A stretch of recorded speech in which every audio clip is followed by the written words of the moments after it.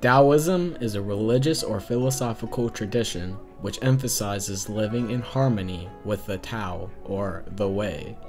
Lao Tzu was a Chinese philosopher credited with founding the philosophical system of Taoism.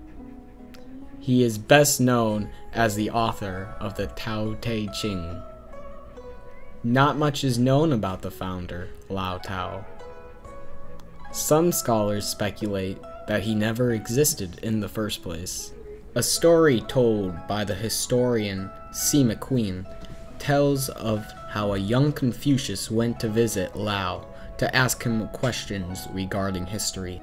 Confucius was so impressed by the master Lao that he could only compare him to a great mythical dragon and took his advice to heart.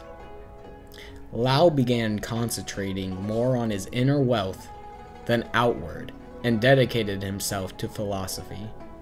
Legends say that Lao became disillusioned with war, violence, and corruption in China, and he decided to leave.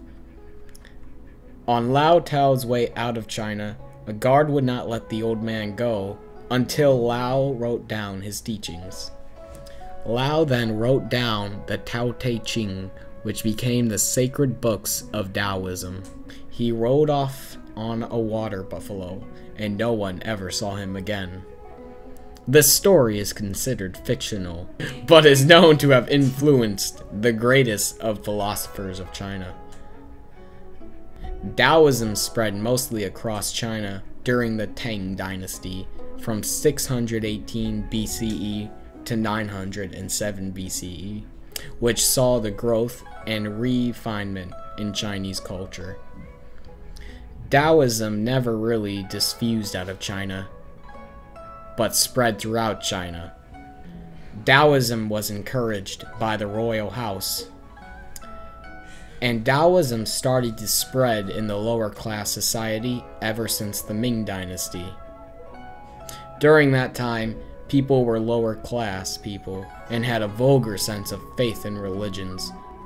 Taoism became a religion of many features and ideas with nothing concrete to explain the meaning of it.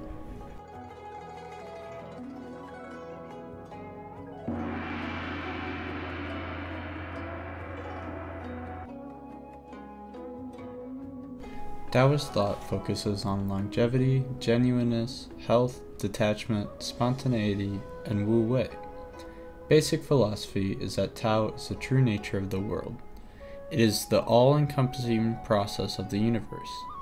Nothing is fixed, static, or non moving. Everything is transforming constantly. Qi is another basic element in Taoist philosophy.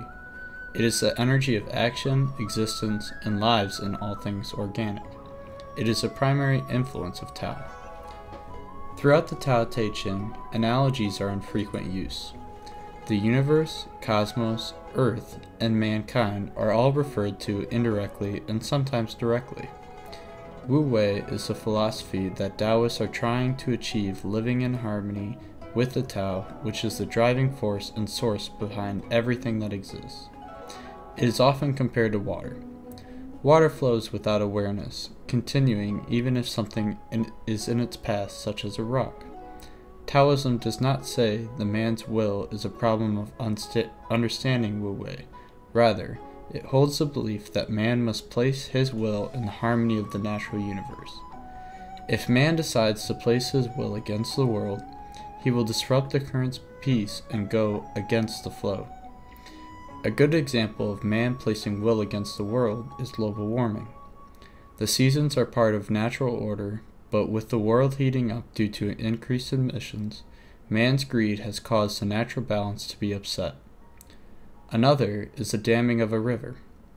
This upset in natural order leads to flooding, which is an undesirable effect, and in order to resolve one's will, one must admonish dualistic thoughts and only conduct acts through nature and spontaneity. There is a careful balance between studying and following Taoism.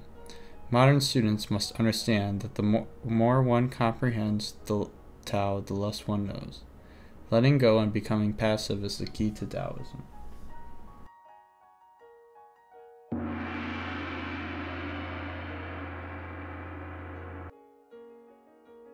Taoism is mainly practiced in places such as China, Taiwan, and Southeast Asia. As of today, there are about 20 million Taoist followers worldwide.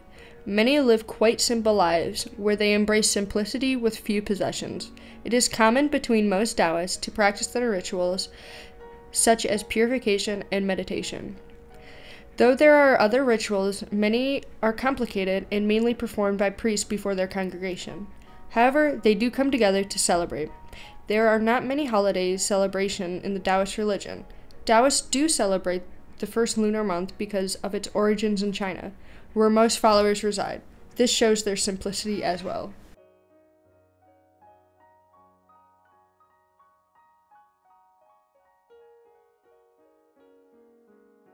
So what we want is a uh, balanced energy throughout. We want to have a warm, lukewarm energy. We don't want to be too hot or too cold.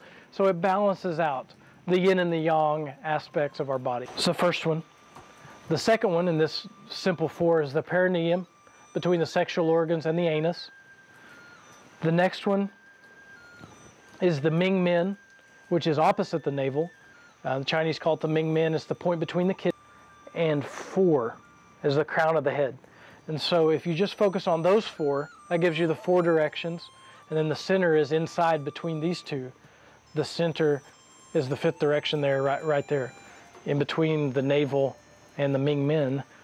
And so just a simple Qigong exercise like this, after you've woken up the awareness here in these different places, can start to move that energy. So you're thinking about your crown, thinking, put tongue to the roof of the mouth, thinking about moving the energy down to the navel, perineum, up, and back down.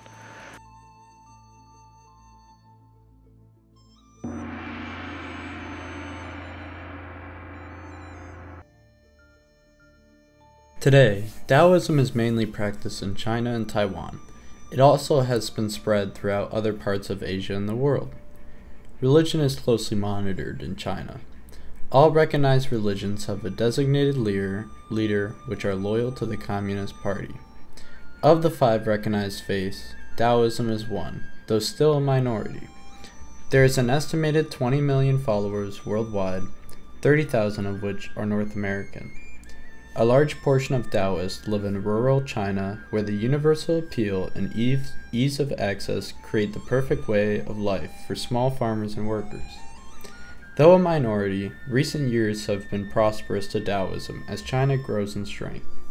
The recent growth in Taoists caused the amount of priests to increase, albeit with a lack of proper training. Many patrons have created temples and sites that reflect the tranquility and inner resolve that Taoism encourages. However, some who built temples see it as a source of revenue, selling gifts or incense to those traveling. This is a source of internal conflict for Taoists, as making money should never be a primary motive to building temples.